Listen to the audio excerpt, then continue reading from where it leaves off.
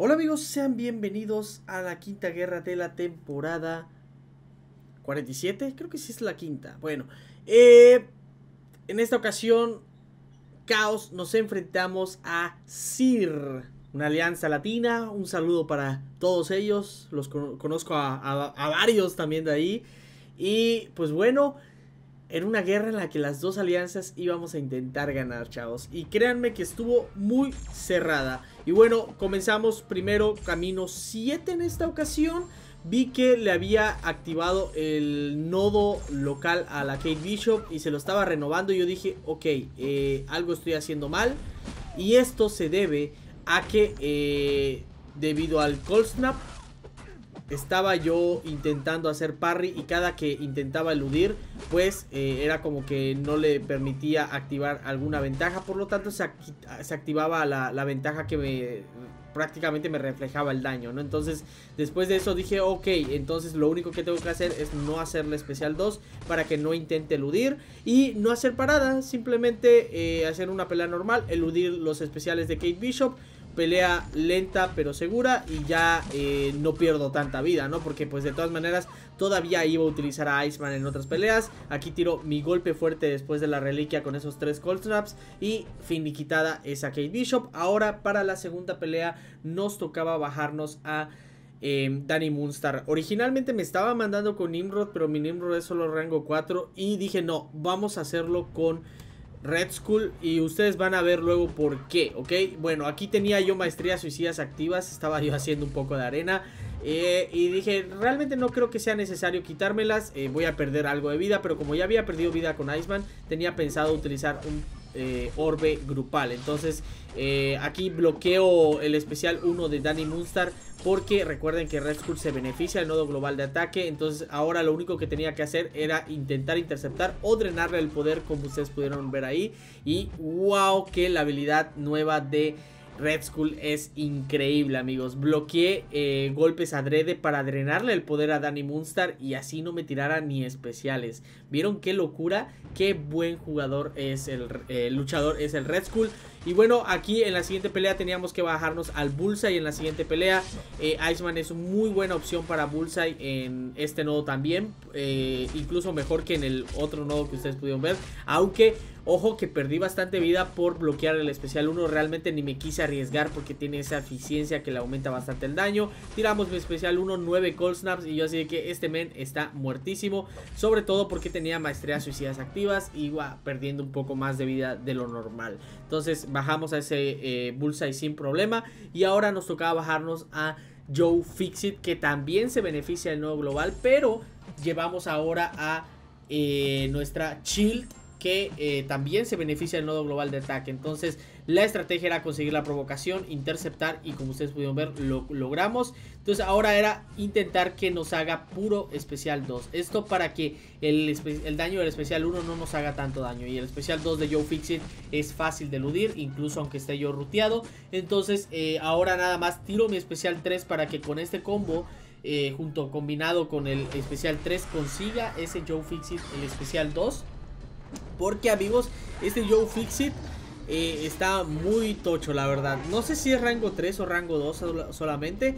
Pero, es un combo que te llegas a estar Joe Fixit, uf, puede ser problemático. Si daño en bloqueo ya he perdido prácticamente la 20-25%. Pero esto igual se debe a las maestrías suicidas que tenía yo activa en el, en el momento de pelear. Y bueno, ahora eh, pasemos a la siguiente parte. Aquí era un poco más complicado, por lo tanto me cambié maestrías, eh, me quité las maestrías suicidas y eh, sobre todo porque esta Titania es un terror, amigos. Entonces aquí nuevamente la estrategia de que active el golpe para que pueda yo interceptarla libremente y no me preocupaba realmente del el ruteo. ¿Por qué? Porque el ruteo como tal del nodo es una ventaja, por lo tanto Chill la puede purificar solamente tenía que preocuparme del ruteo en sí por los especiales por el nodo global. ¿Por qué? Porque pues Titania igual se, eh, se beneficia del nodo global, por lo tanto es complicado. La ventaja que pude pausar ahí por el especial 1 como nos deja cerca, pudimos pausar y ahora nada más tenía que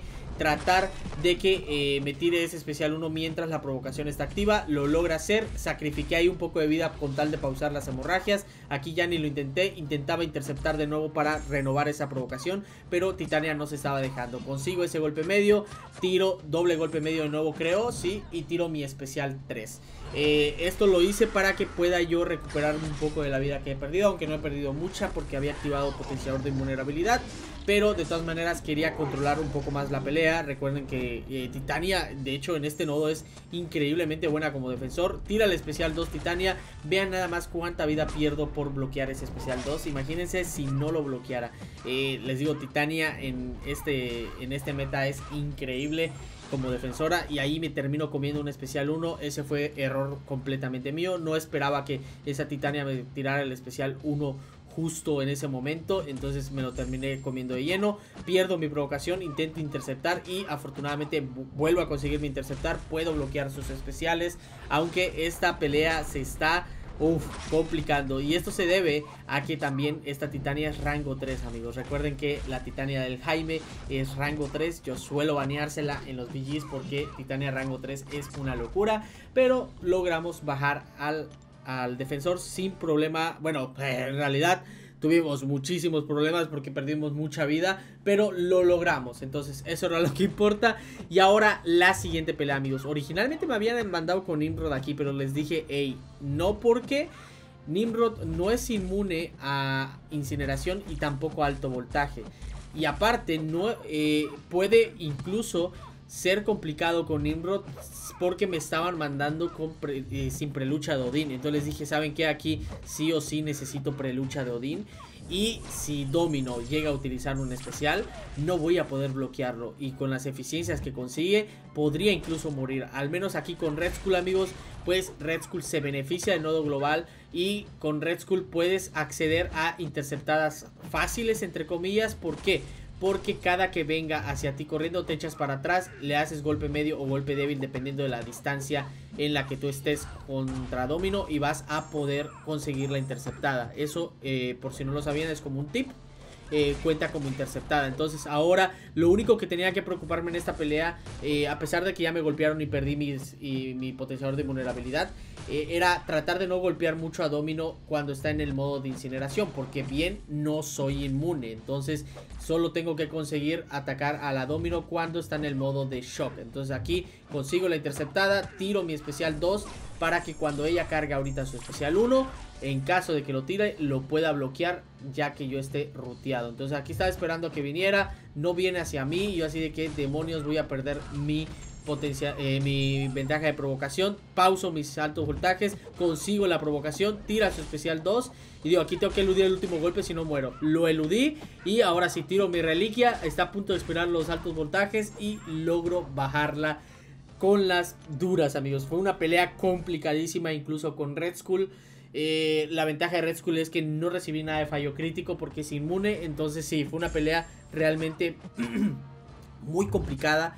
Eh, sobre todo porque era una domino rango 3 amigos Entonces, bueno, siguiente nodo eh, Teníamos que bajarnos a la seda Silk en el siguiente nodo El nodo de Falter Y Eh, lo único que tenía que estar pendiente era de esa vigilancia. ¿Por qué? Porque cuando se expire esa vigilancia me puede dejar eh, fallo, ¿ok? Y entonces si me deja el fallo, si no llego a tener ventajas para purificar, me puede, eh, puedo terminar fallando algunos golpes, pero afortunadamente tiró su especial 1 por lo tanto, estaba bloqueándolo cuando eh, terminé purificando ese flaquear. Y ahora sí, nada más tenía que seguir bloqueando. Para usar las hemorragias cada que Silk tirara golpe fuerte. Aquí intento interceptar para conseguir la provocación. No lo consigo. Vuelvo a interceptar. Lo consigo. Y listo. Finiquitada la pelea. Un poco complicada, he de decirlo. Pero logramos hacerla, chavos. Y la pelea más difícil que tenía en esta eh, sí, de por sí la de Domino fue increíblemente difícil y la de Titania también, amigos. No han visto esta pelea, chavos.